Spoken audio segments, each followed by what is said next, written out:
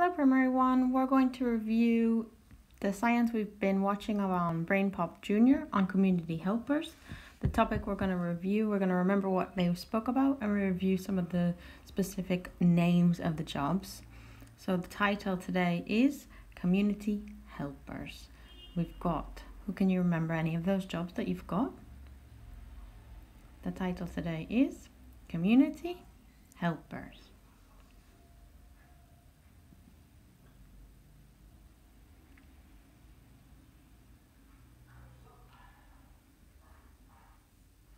So let's remember the community is, the topic is community helpers. You watched the video on BrainPop Junior called Community Helpers with Annie and Moby. A crossing guard is a community helper who helps people cross the street safely. And so we remember the name of him. He is a crossing guard. Crossing guard. Now, a community, a group of people who work together. Brain School is an example of a community. Any ideas that you can think of? Maybe your church or your team. Who keeps people safe? Can you think of the people who help keep us safe? There's lots of people working right now to keep us safe. Can you think of any other names? This man is a firefighter. Firefighters are community helpers who put out fires. They help us put out fires, but they also help us learn about fires. They help us know how to stay safe from fires, what to do if we see a fire, who to call, and how to make sure that our kitchens are safe. Police officers are community helpers who keep neighborhoods safe. So we're remembering police officer. They also help us with the law, a rule that's set by the community. Can you think of any laws that we have right now? We want to remember that a law is a rule. So police officers make sure people follow laws and help keep crimes from happening. Remember, police officer. The next was a paramedic, who is a person who takes care of people when they are sick or hurt during an accident. Paramedic. They have other jobs as well. They take care of people during an emergency and sometimes they take them to a hospital. Paramedic.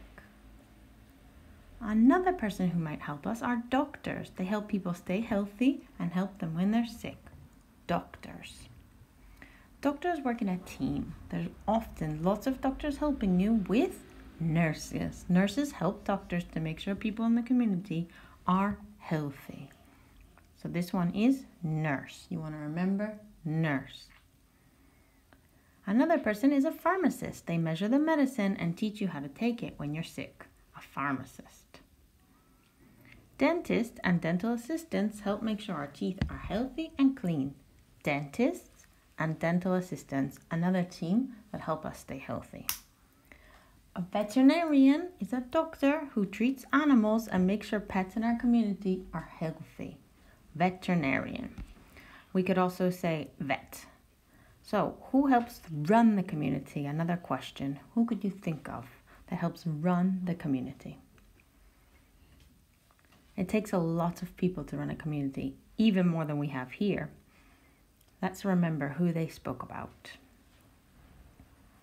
They spoke about sanitation workers collect the garbage and help keep streets clean.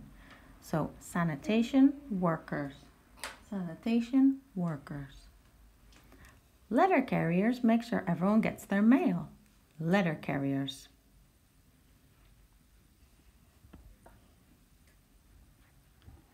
Three people who help us with transportation are bus drivers, train conductors, and cab drivers, which help people move from place to place.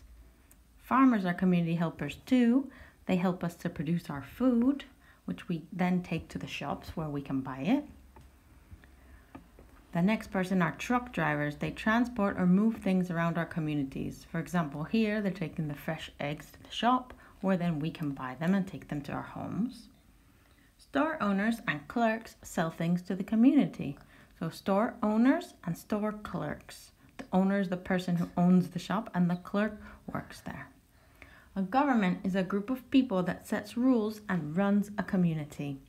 A group of people that sets rules and runs a community.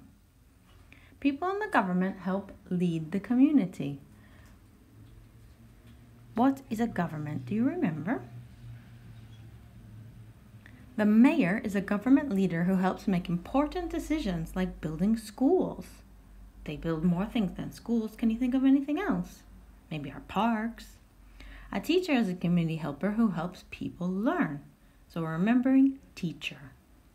I think you got that one. The next one is a librarian. The librarian is in charge of books and other resources in a library. Librarian. We have one in our school and also some in the community. Hmm, who else can we think of? Two more. So she thinks of Annie and Moby because we can help too. Annie and Moby can help. And what can you do to help your community? You can do something small or something big. Let's think of some ideas. How can you become a community helper? Did you think of anything? What you could do? You can help your community by following rules. A very important rule we're doing right now is, yep, staying in our house. You can clean up after yourself and work together to keep your neighborhood clean and safe. Make sure that if you drop something, you pick it up and put it in the rubbish. You can also volunteer and spend time helping out the community. So you could volunteer or you could donate things. You could, if someone needs food, you can bring it like we do to school, we donate food. There are many ways to get involved and help out. You can be a good citizen. If you see someone that needs help, help them. Like Moby helps him get the, the, the kite. So then we've got all of the different jobs we spoke about here to help you remember all the different ones. There's lots here, but there's even more than this, right? We're just trying to remember these individual ones. And then we've got our joke of the day. How do birds get in shape? How can they exercise? How can a bird exercise? Any ideas? Yep, that's what they can do. They can do warm ups. Warm up. Get it? Warm up. That's a worm exercising. Ah, that's a good one. Great work, everybody. It's time to stop for today. Now you can do the game I made for you. Be good. Keep up all the great work. I'm so proud of all your hard work. Excellent primary one.